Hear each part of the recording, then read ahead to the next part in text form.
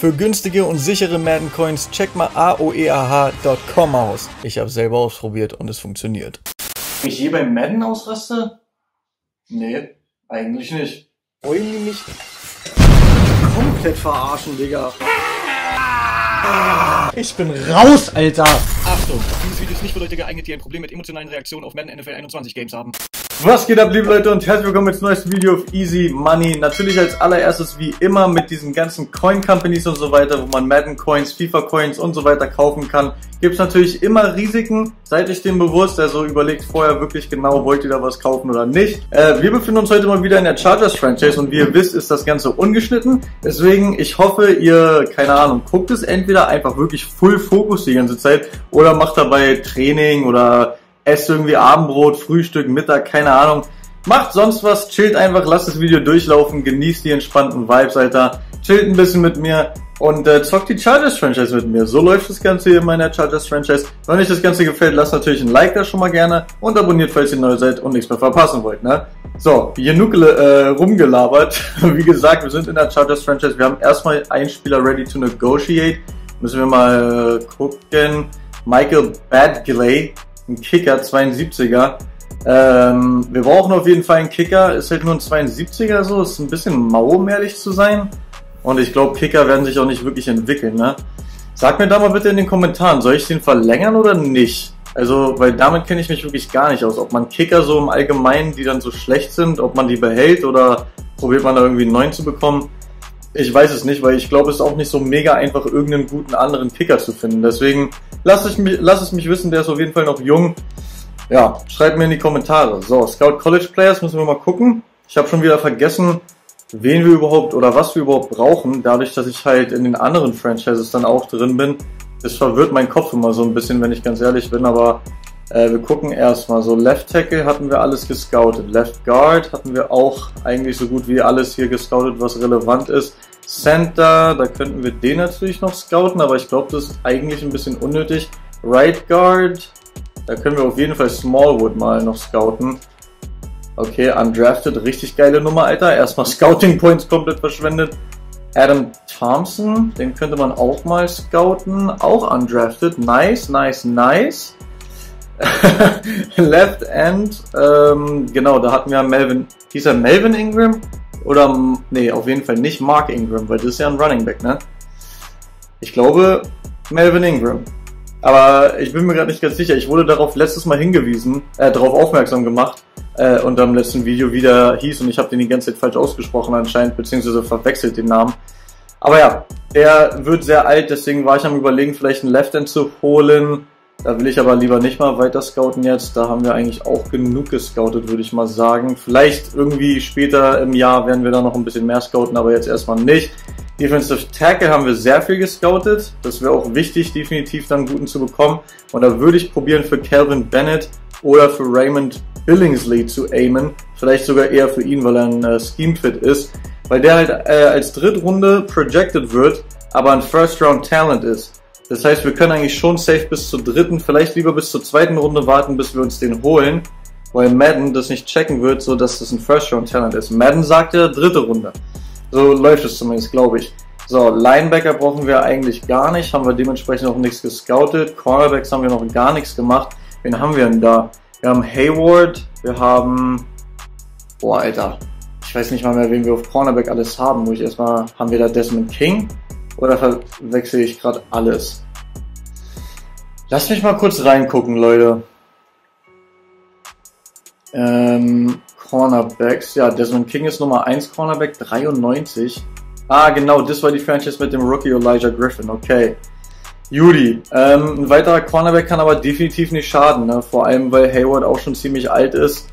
Lass uns mal ein paar Cornerbacks draften, das ist definitiv wichtig.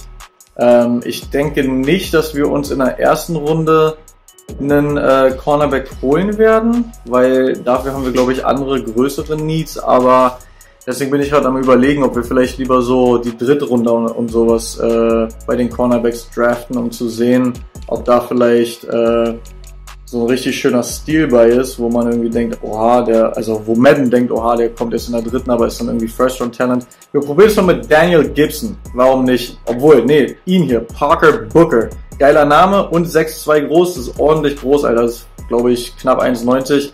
Das wäre natürlich ein nicer. Nein, leider nicht. Fünftrunden-Talent. Wir probieren mal Daniel Gibson. Oh, Zweitrunden-Talent. Okay, genau sowas meine ich, Leute. Das ist richtig nice. Das ist richtig nice. Brandon Kirkland. Äh, fünfte Runde. Da, ich weiß nicht, ob es da dann schon zu risky wird, die Leute zu scouten. Wir machen es einfach mal. Wir probieren es mal. Boah, siebte Runde. Undrafted. Damn, Alter. Wir haben keine Scouting Points mehr übrig. Schade. Okay. Dann haben wir aber auf jeden Fall schon mal Daniel Gibson theoretisch als richtig geilen Stil, den wir in der vierten Runde holen können. Das wäre natürlich nice, falls er dann noch da ist. Wir werden auf jeden Fall definitiv ein bisschen mehr scouten müssen und äh, es gibt doch eigentlich so eine Funktion, dass man den Coach upgraden kann, oder? Okay, das hier juckt mich nicht, dass da irgendjemand vom Practice Squad gesigned wurde. Es gibt doch diese Funktion, Coach Goals, Spend Coach XP. Da müsste es auch die Funktion geben, ja guck mal, Expert Scouting, purchase this package to get more scouting points every week. Das wäre doch mal geil. Und wir haben 8200 XP, Alter, können wir easy holen. Okay, nice. Haben wir gemacht. Jetzt haben wir auf jeden Fall, also, ach so, wir müssen noch Submit drücken. Okay, ich dachte schon einfach so fertig, äh, ohne irgendwie eine Animation oder so. ähm, was können wir denn, oder was wollen wir denn noch machen? Player Retention, Resign Influence, Retirement Influence. Ne, das juckt mich alles nicht so. Player Progression wäre natürlich geil. Increase Player Weekly Goal. Uh, increase the amount of XP your players earn from weekly goals. Na, vielleicht nehme ich lieber einen Trainingsboost. Das wäre, glaube ich, geil. Increases the amount of XP players earn in training. Wen mache ich denn momentan ins Training? Ich mache Elijah Griffin ins Training. Also Cornerback. Oh, DB haben wir schon. Max. Das ist natürlich crazy. Äh, wen haben wir noch? Linebacker, oder? Oder. Ich gucke lieber nach, Leute. Äh, achso, warte, wir müssen erstmal den einen hier submitten. Okay, haben wir. Ich gucke lieber nach, nicht, dass wir irgendwas Dummes einstellen. Dann machen wir nämlich auch direkt mal Training und gucken, wer da eingestellt ist. Dylan Moses, Justin Herbert. Okay, gut, also Linebacker und äh, Quarterback. Können wir mal gucken, ob wir genug Geld haben, um das beides abzugraden. Alter, Dylan Moses wird so ein Tier, wirklich, Alter. Der ist in seinem Rookie-Jahr, ist jetzt schon irgendwie knapp 80, hat Hidden Development, 92 Speed oder so. oder 90 Speed, ich bin mir gar nicht ganz sicher. Aber auf jeden Fall ganz, ganz krank. Alter, Junge, tut mir leid. Ähm, okay, so, jetzt gehen wir nochmal kurz rein. Oh Mann, war das dumm. Hätte ich das vorher abgegradet, hätten die ja schon mehr bekommen. Alter, es ist zu früh, Leute. Sage ich euch ganz ehrlich. Ich habe mich hier relativ früh morgens hingesetzt. Mein, äh, mein Kopf funktioniert noch nicht so ganz. Junge, ich hätte einfach das jetzt schon bekommen können. Alter. Okay, äh, hier Linebacker Training Boost und QB Training Boost. Let's go, Junge. Lego. Okay, das submitten wir. Haben wir submitted? Ja, haben wir submitted. Okay, nice. Also, nächste Woche das Training werden sowohl Dylan Moses als auch Justin Herbert ein bisschen mehr XP bekommen. Wir haben jetzt noch ein paar Players, die wir upgraden können. Oh, nice. Pat Fryermuth und Hunter Henry. Beide Titans, Alter. Geil. Das ist natürlich nice. Fryermuth hat bisher noch fast gar nichts gerissen, ne? Der kommt irgendwie kaum zum Einsatz. Ist eigentlich ein bisschen schade, weil der ein krankes Talent ist. Ich bin mir um ehrlich zu sein noch nicht ganz sicher, warum wir den geholt haben, wenn wir Hunter Henry haben, aber das sind auf jeden Fall crazy Upgrades hier. Nice. So, Hunter Henry. Mal sehen, Possession. Alter, mit Moral ein 90er, Digga. Das ist einfach nur geisteskrank. Rake Tackle, das ist geil. Run Block Power, Short Route, Stiff Arm, Pass Block Catching. Okay, nice. Beide Titans einfach mal geupgradet. Gefällt mir, Digga. Gefällt mir definitiv. Okay, vergesst nicht in die Comments zu schreiben, ne, sollen wir den Kicker verlängern oder sollen wir uns irgendwie einen anderen suchen? Äh, und dann würde ich mal sagen, Alter, Chiefs sind 9-1, Broncos 6-4. Wir müssen dieses Spiel gewinnen, Leute. Wir spielen gegen die Raiders, Erstrivale mal wieder. Wir müssen dieses Spiel gewinnen. Ähm, wir werden natürlich wie immer Play the Moments machen. Wir müssen dieses Spiel gewinnen, Alter. Und wir müssen hoffen, dass Broncos verlieren. Dann sind wir wieder gleich auf mit den Broncos. Ansonsten äh, werden die uns langsam wegziehen, so, wisst ihr? Also das, da hätte ich eigentlich keine Lust drauf. Also mindestens Zweiter in der Division würde ich schon gern werden. Deswegen hoffen wir mal, dass es heute was wird. Leute, wir befinden uns im Game und müssen direkt mal hier Third Down Alert machen. Mal gucken, was geht. Alter, Raiders führen jetzt schon 7-0. Dritter und 10, wir haben den Ball. Okay. Also, Raiders haben schnell gescored. Ähm, wir müssen jetzt mal gucken. Dritter und 10, Alter. Das ist natürlich schon wieder ein bisschen schwierig. Äh, ich probiere es mal mit dem Play hier. Mal sehen, ob was gehen wird. Wir haben John Ross natürlich geaddet in der Offense, Leute. Nicht vergessen. Das ist natürlich sehr nice. Da probieren wir ihn anzuspielen. Das reicht nicht ganz, aber ich würde dafür gehen. Mal gucken, ob ich No Huddle machen kann. Nein, kann ich nicht. Damn, Alter. Play the Moments hat mich rausgenommen. Ja, okay. Fourth, fourth, fourth Down Alert. Der hat mich wieder reingenommen. Das finde ich bei Play the Moments übertrieben unnötig. Wenn die einen so rausnehmen und dann ein Play danach direkt wieder rein. Über unnötig, über schwachsinnig, aber okay. Bryant, unser Rookie Fullback, holt das First Down. Ich glaube zumindest, dass der Rookie ist. Red Zone Alert. Äh, wir probieren es mit Inside Zone erstmal. Gucken, ob Eckler hier paar Yards machen kann. Wir sind an der 13, First and 10. So. Ah, da wollte ich einen Juke Move machen, hat nicht so gut geklappt. Das waren 0 Yards. Damn, Alter. Ich dachte, das waren wenigstens 1, 2 Yards, aber okay. Anscheinend nicht. Übrigens, Leute, ich hätte eigentlich auch Bock auf eine Spielerkarriere. Sagt mir mal in den Kommentaren, hättet ihr Bock auf eine Spielerkarriere? Also keine Coaches, wo man ein ganzes Team steuert, sondern eine einzelne Spielerkarriere oder eher nicht? So, mal gucken, was hier jetzt gehen wird. Ich sehe nichts. Okay, den haben wir gerade noch so weggeworfen. Ich habe wirklich gar nichts gesehen. Dritter und zehn, Alter. Jetzt wird es langsam kritisch. Ich hoffe, wir können da Allen anspielen. Ah, mal gucken. Wo wirft denn Herbert hin schon wieder? Ey, das gibt's nicht, Mann. Herbert ist so ein Lappen, Junge. Ich, Allen war doch schön frei in dem Window zwischen diesem hinteren Safety und dem Linebacker. Warum wirft er denn nicht rein ins Window? Stattdessen wirft er sonst wohin in den Lauf, Digga. So maximal lost. Ich habe gehofft, dass Allen sich äh, reinsittet in die Lücke da und da einfach stehen bleibt und wir den Pass da anbringen können. Kann man im Madden nicht machen. Äh, deswegen eigentlich meine Schuld, aber wenn sich in Madden die Spieler wie echte Spieler verhalten würden, dann äh, ja, wäre es nicht so passiert, denke ich. Aber gut, egal. So, dritter und vier Raiders haben nichts gemacht. Was können wir jetzt machen? Mal gucken. Okay, Allen Renn. Hey, Junge, man kriegt hier niemanden ausgejuckt, ne? Können wir bitte dafür gehen? No Huddle? Nein, wir werden rausgenommen. Fourth Down Alert. 52 Yards Field Goal. Nein, danke. Wir gehen auf jeden Fall dafür, Leute. Tut mir leid, falls es jetzt ein bisschen risky ist, aber 52 Yard Field Goal werde ich sowieso nicht reinmachen. Wir haben hier jetzt ein Play Action am Start. Mal gucken, ob die drauf reinfallen. Fang den Ball. Yes, Sir! Okay, eine Flagge auf dem Feld. Bitte nicht gegen uns.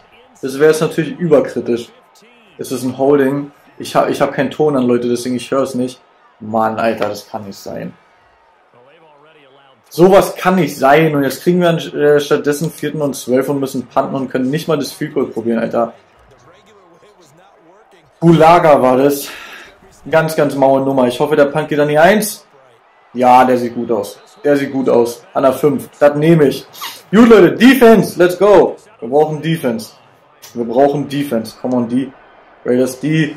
Jawoll. Haben gepuntet. Two-Minute Drill. So, Leute. Jetzt ist unsere Chance hier, mal richtig was zu reißen. Versteht ihr, was ich meine, Alter?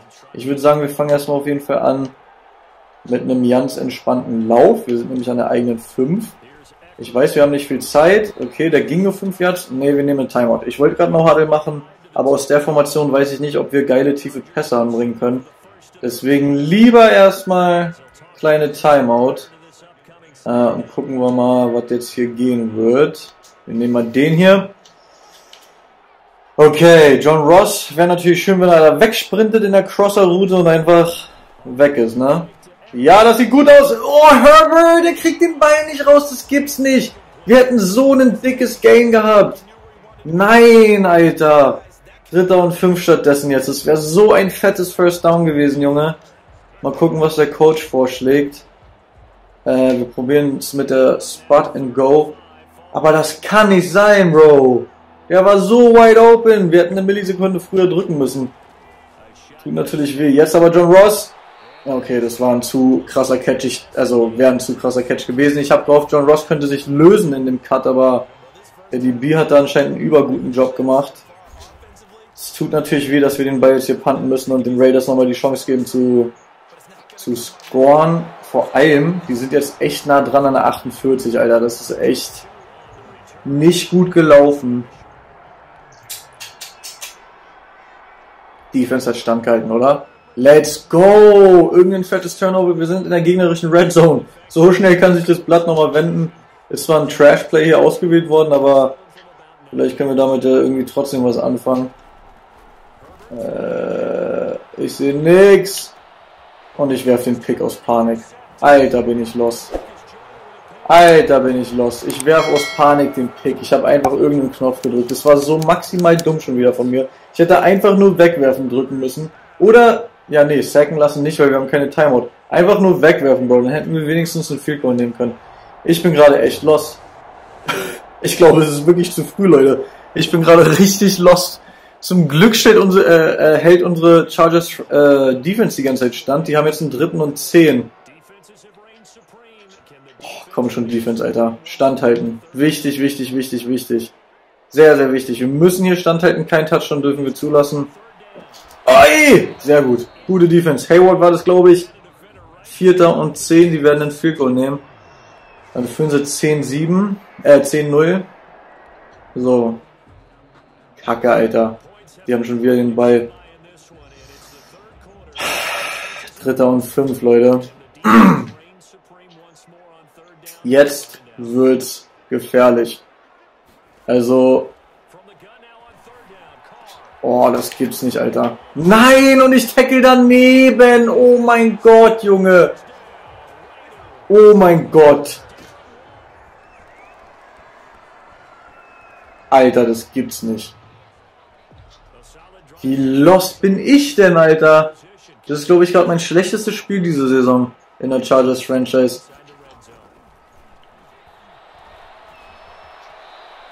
Okay, come on, no huddle, Alter, wir müssen uns beeilen, Digga. Komm, komm, komm, komm, komm, komm, komm, komm, komm, komm, komm. Rennt, Leute! Rennt um euer Leben! Zweiter und drei, wir müssen hier scoren. Wir müssen hier scoren. Okay, wir sind immerhin für den First Down gekommen. Einmal noch schnell No Huddle. Probieren wir es damit. Und hoffentlich kriegen wir es hier. Jawohl, sehr schön. Touchdown ist da. 10 Punkte Rückstand, Leute. Noch ist dieses Spiel nicht verloren. Das ging jetzt sehr schnell. Das war nice. Okay, wir müssen die jetzt stoppen. Dritter und 10. Wir probieren es mit Cover 3 Match. Come on. Come on, D. Come on, D.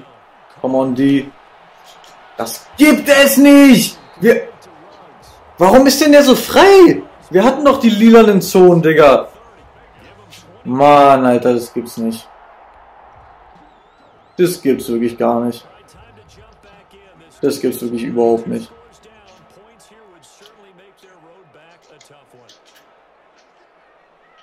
So, was geht jetzt hier noch? Okay, das ist gestoppt. Wir nehmen Timeout. Wenn wir die jetzt noch einmal stoppen, dann können sie nur ein Field Goal nehmen, aber selbst dann führen sie mit zwei Touchdowns, Alter. Also, äh, ich sehe hier die Chancen eher gering. Sind wir nicht durchgekommen. Und der rennt einfach für den Touchdown rein. Alter Schwede, ey. Junge, das ist jetzt die dritte Niederlage in Folge. Reicht jetzt auch langsam ein, ne? Ey, was soll denn das, Mann? Gegen die 2 und 8 Raiders, letzte Woche gegen die 1 und 8 äh, Giants, Digga. Wo zum Geier wirft Herbert hin? Habt ihr das gesehen? Was war das denn?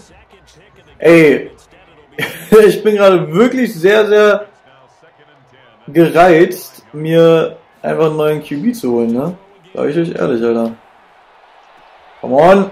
Boah, starkes Play vom DB. Ich dachte, da können wir die Lücke anspielen. Aber das war ein sehr, sehr starkes Play vom DB. Das Spiel haben wir absolut verkackt, Alter. Absolut verkackt. Und das hätte nicht passieren dürfen. Die scoren nochmal einen Touchdown oben rauf. Junge, Junge, Junge. 31 zu 7 werden wir hier weggeklatscht, Alter. Was ist das denn, Mann? Ja, okay, das sollte wenigstens mal Pass Interference sein. Oh gegen die Raiders, auch noch gegen den Erzrivalen. Das ist natürlich extra bitter.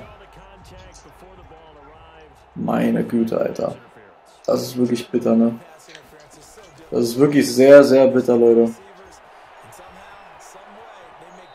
Mal sehen, ob wir hier wenigstens noch auf Ehrenbasis irgendwie einen Touchdown oben raufscoren können, um äh, wenigstens das Ergebnis nicht allzu schlecht aussehen zu lassen. Bei dieser Y-Corner hier war das aber bisher auch jedes Mal perfekt gecovert, ne? Ich wollte immer Henry anspielen, das ging einfach nie. Und auch jetzt, doch diesmal schon, guter Wurf. Das war ein sehr, sehr starker Wurf von Herbert. So.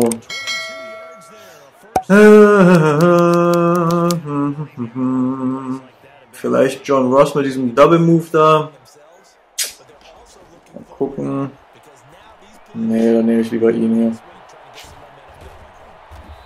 Guter Juke und guter Effort da fürs First Down. Haben wir, glaube ich, fast bekommen. Äh, was machen wir? Machen wir den hier. Kenne ich nicht. Probieren wir einfach mal. Probieren wir einfach mal aus. Versteht ihr? Oh, bleib doch in Bounce, Mann, John Ross, Junge. Er kann auch gar nichts außer einfach nur schnell sein, ne? Ah, okay, jetzt äh, dritter und Inches, 2 Minuten 9. Vielleicht können wir hier nochmal einen First Down holen. WTF, was ist das schon wieder für ein Wurf? Also ich weiß, Herbert war, war sehr under pressure so. Kam Cornerback Blitz. Oder vielleicht war es Safety, ich weiß nicht. Aber come on, Digga. Yeah! Oh, ich hätte ins Aus. Ach, egal. Two-Minute Warning sowieso. Okay.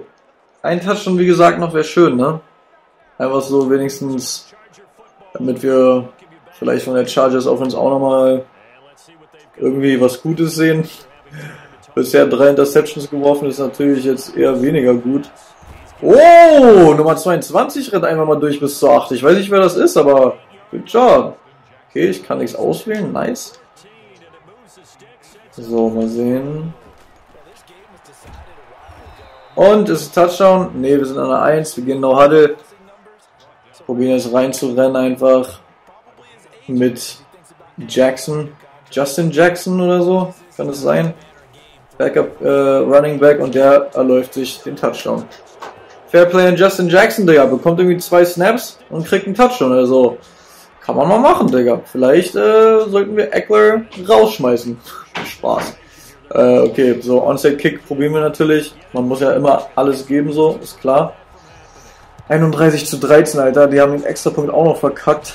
Was können die eigentlich? Das war auf jeden Fall ein schwieriges Video, sage ich euch ehrlich. So auf die Schnauze zu bekommen von seinem eigenen Erzrivalen, Alter. 31-13. Bitter, sage ich dazu. Bitter. Definitiv bitter. Justin Herbert hatte wirklich wieder ein paar Würfe extrem verzogen. Ein paar waren aber auch mega blind von mir einfach geworfen. Beziehungsweise mega dumm und überhastet. Vor allem das eine Mal in der Red Zone, Alter. Da hätten wir uns echt besser konzentrieren sollen. Aber guck mal, auch Derek Carr. Keine gute Statistik. Aber gut. Das war es erstmal mit dem Spiel. Mal gucken, ob wir noch irgendwas im Menü machen müssen. Ey, nice, Alter. Dylan Moses bekommt ein Upgrade. Das ist geil. Jetzt ist er offiziell ein 80er, Junge. Runstopper oben rauf. Mega wild. Mega, mega wild. Agility, Strength, Tackle, Block Shedding plus 2. Geile Nummer, Alter. Left Guard Forest Lamp. Kommt Power oben rauf.